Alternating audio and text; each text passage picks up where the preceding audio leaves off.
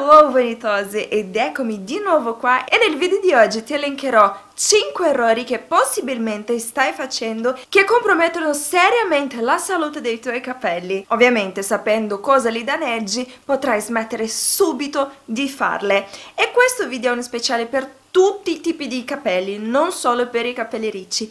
Quindi se hai un'amica con qualsiasi problema di capelli, mostra questo video alla tua amica, condividilo con la tua mamma, nonna, zia, cugino, sorella, vicina, lontana, tutti i tuoi amici e invitali per far parte di questo gruppo di ragazze vanitose. E ovviamente se non sei ancora iscritta, iscriviti anche tu. Io sono Brigida Ferracini e partiamo subito con il primo errore che possibilmente state facendo. Il primo errore è quello di comprare un shampoo per tutta la famiglia. Un individuo e ogni capello ha delle necessità diverse. Alcuni capelli sono più sensibili, altri più spessi. Un shampoo troppo aggressivo per i capelli ricci può seccare tantissimo e lasciare l'effetto paglia e per i capelli ci può farti diventare la cute super grassa. Quindi è bene identificare ogni tipologia di capello e le necessità dei tuoi capelli e comprare un shampoo specifico che fa per te e non per tutta la famiglia. Il secondo errore e che può capitare specialmente adesso in estate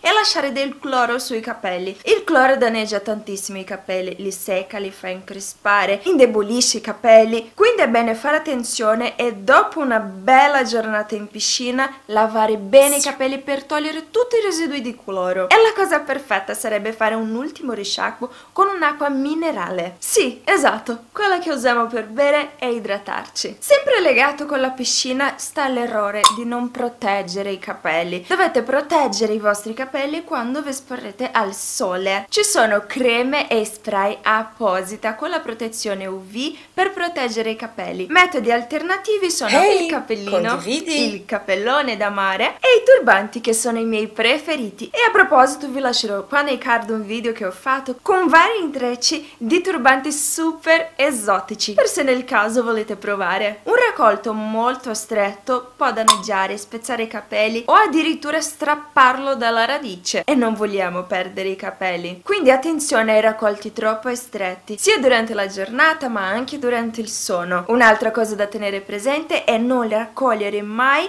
i capelli da bagnati. Guarda chi è arrivata di nuovo, la mia principessa.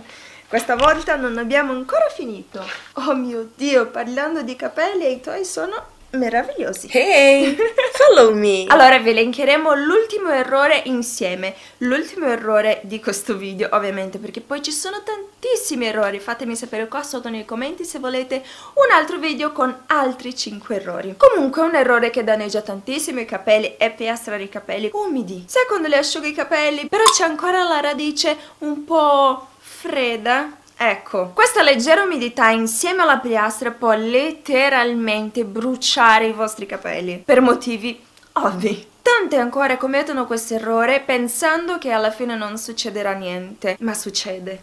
Fidati che succede? Facciamo un gioco. Se sei arrivata fino a questo punto, commenta con questo emoji. e vi invito anche a seguirci su Instagram e chiocciola ragazza.vanitosa. Noi ci vediamo nel prossimo video. Mua. Ciao! Ciao!